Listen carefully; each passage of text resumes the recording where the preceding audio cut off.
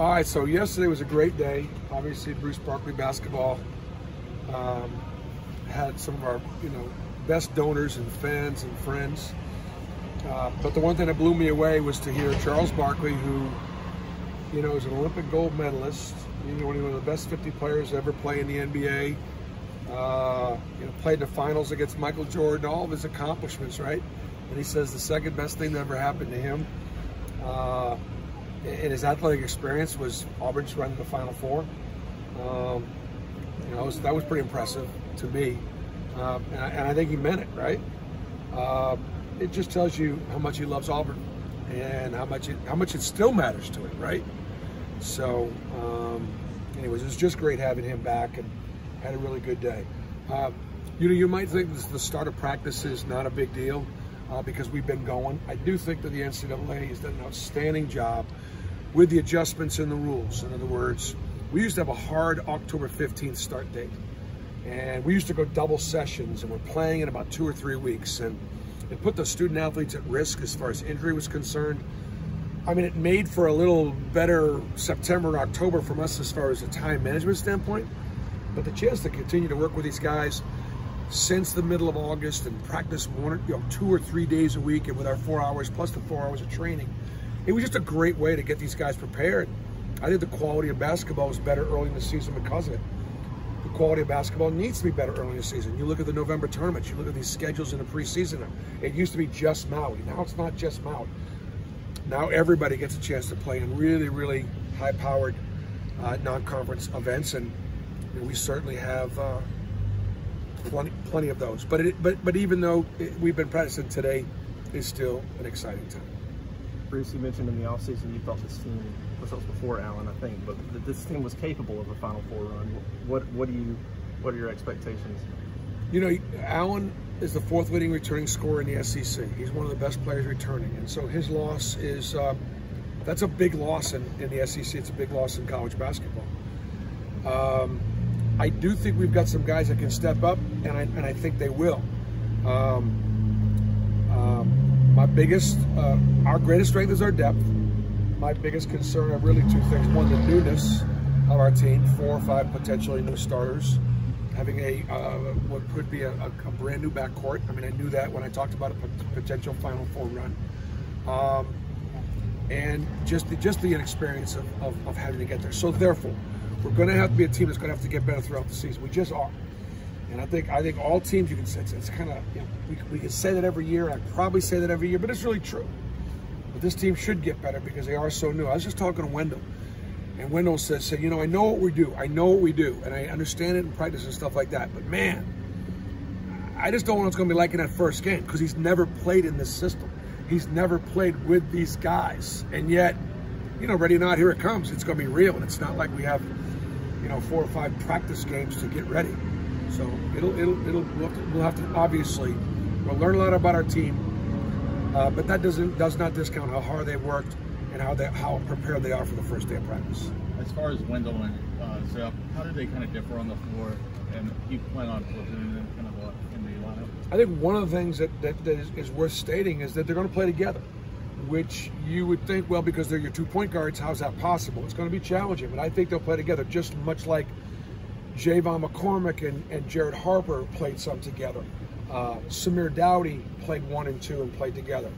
What makes it difficult is, you know, getting getting whoever it's going to be, most likely Zep, to play point guard and off the ball. And again, this being his first year, learning both positions because it's it's it's it's it's different. Um, Wendell can really shoot it. Wendell's not afraid of the moment. Wendell's offense is ahead of his defense. Um, the thing about Wendell Green is this. Since he was a little boy, he's been playing with and against great players. He's been on really good high school teams, really good AAU teams. He's played with and against pros. And then when it was time to go to college, nobody thought he was good enough or big enough. And that's why he winds up in Eastern Kentucky. And so he is not going to be intimidated by what he's fixing to face. But it is still a real opportunity for him to be able to answer the bell.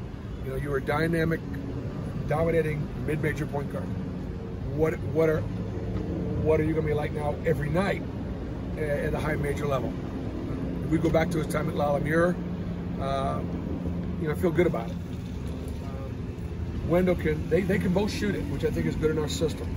Uh, Zep, though, is a dynamic defender. He can really get after you, not only individually himself, but he makes everybody else out there defensively better.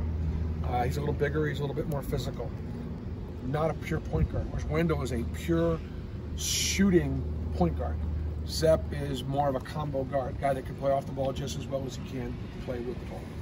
Bruce, what are you guys focusing on for the next couple weeks of practice? We're going to begin to start playing teams. Um, we're going to start off tomorrow playing Loyola, who's an opponent we could see out in, uh, uh, in, in, in the Paradise Shift. So what I do for about a month before the season is I give my guys the scouts, which means I start to begin to put in the different actions, the different actions that we need to cover, so that we then play against those teams and we have film on it so that when we get ready to play them, we've got film on how we guarded the things that they guarded, and it's a way of teaching your guys, also getting our coaches ready as far as their scouting uh, in advance, and that's going to be like we're going to like. So today, today I'm going to teach pressure sets. I'm going to teach how we're going to break pressure. At the same time, I'm going to be teaching our defense. This is how we're going to be. This is how we would guard that pressure, so that when we get pressed, so there's just a lot of things that we'll be lot lot will be adding for the first four or five weeks, it's been really a lot of shell, a lot of the basics of our offense, a lot of repetition. We're going to move faster now. Now we're going to go from one scout to the next scout to the next scout, and the guys are going to have to stay, be able to stay up with it.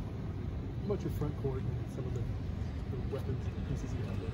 Well, this is the biggest front court I've ever had. It's the longest front court I've ever had. I mean, I've never had a 7-1 guy that can shoot the three ball and, and a 6'9 power. You know, I like to call, by the way, I, I really have gotten to the point right now where we're calling our four, or what would be a traditional power forward, a big guard. Because Chuma was really a big guard. Isaac was a big guard. Uh, JT, he spent a lot of time in the perimeter. I mean, there was nothing power about his game. So it's really not a power forward. Jabari's not a power forward. He's a big guard with real skill. And we play four out, one in. So we really play four guards. Now you might look at Deshaun Murray and say, well, yeah, you could call it that because he was only six three, and you had three, four small guys. So there are a lot of big guards in the NBA. So we're playing, we're playing, you know, those four guards, and we'll, we'll always play, we'll always play one in. With practicing uh, starting, Bruce, just how valuable are these next few weeks before you guys get into the start of the year? Well, I mean, they're, they are valuable.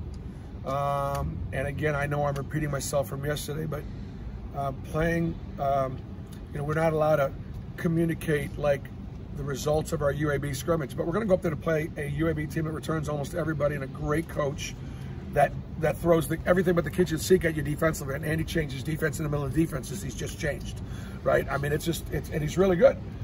And so you also could you know take your team. I mean, that'd be you know that's going to be a, a tough one. I'd rather have that October 23rd, and then just and then the Southern Indiana team again. Um, my last year at Tennessee, my last year at Tennessee, um, a year that we won our first like five or six games, including beating like number three Pittsburgh in Pittsburgh, right? And got ranked in the top 10 in the country. Southern Indiana came into Tennessee and beat us. In the exhibition, came in and beat us. And uh, a couple years ago, when they came in here, we, we beat them in overtime. So in other words, got another good contest. So I just want to get exposed. It's hard to expose our guys uh, against a scout team. And it's sometimes even hard to expose our guys against each other. You talked about uh, a little bit yesterday about how in the past you, you the mentality or the philosophy is maybe have them in their best shape by January and how this year it's got to be by November. What does that look like in practice? So I, I, wouldn't even say November as much as I'll say sometime in November. Uh, I've always held a, a, philosophy that if you get them in the best shape to start of the season, by the time we get to mid-February, they're done. They're popped. They're exhausted. And so sometimes my guys will actually look a little out of shape early because to get them in great shape, you got to beat them. You got to beat them down pretty good. You got to run them really, really hard. A little bit more tendonitis, a little bit more soreness, and I don't I don't typically like to try to get to, to sometime at the start of start of SEC season, start of conference play. I think this year because we've got so many good non-conference games, you know, against Oklahoma and, and the Big 12 and Nebraska, the Big 10 and the Paradise Jam, the teams we got to go to South Florida, we got Central Florida beat us coming in. We got to go to St. Louis. I mean, it's it's we better we've got to be in shape a little sooner this year, and then manage uh, their rest and recovery as we get into SEC play.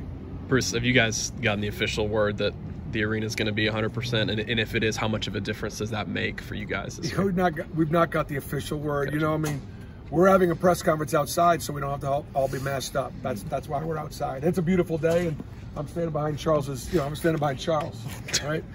Um, and that's really that's really kind of why um, we're moving forward like it's going to be right, it's just going to be normal, and uh, I- I'm as hopeful that we're able to do it as you are, and the players are for sure, and the students are, because it's been it's been it's been tough. The Last year was tough. For the, Yeah, well, you go ahead. go ahead. For the UCF game, do you expect Gus Malzahn to come out wearing an Auburn shirt? No way. No way. I would, I would love him to be here, but I would be disappointed if he didn't have a UCF shirt on. You know, when I was down there wearing a little U, sporting a little UCF, he was playing Boise State. I mean, he wasn't playing Auburn. If he was playing Auburn, I'd be I'd have my Auburn gear. I'd be loud and I'd be proud. There'd be no conflict there, and I don't think there would be one for Gus either. I was just going to ask, what- you give a lot of the freedom to your guys when the when the time calls for it. When you have so many new players, how do you adjust them to the balance of freedom versus playing how you want them to play? Yeah, when it settles it, you, we're there now. I'm getting right there right now. So what we do is we keep stats, and I, look, I don't decide. Who gets, I don't get to decide who shoots the three ball. You guys get to decide. We've kept stats all summer and all fall so far. And if you're shooting 20% from three, because I the coach has given you the freedom to shoot that shot, and as we get closer to the season, you keep taking that shot. You don't have to answer to me. You have to answer to the other guys in the locker room. You know, you, at some point you have to put that thing away and go do something else. So I let those guys make those decisions because you know it's the oldest thing in the world. Y'all got kids, and if you don't, you're gonna have kids. You're gonna come say, "Coach won't let me shoot. Coach won't let me do this. Coach won't let me do that." Man, I don't need to do that. You, you and if when they understand it themselves, then they'll understand. You know, early in our offenses, that's when they can be more aggressive.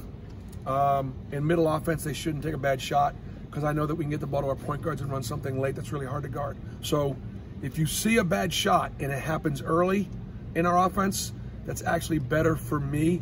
But if you see a bad shot in the middle part of our offense, that's that's probably going to require a substitution. So, we're going to get the guys out here. the guys are the guys who.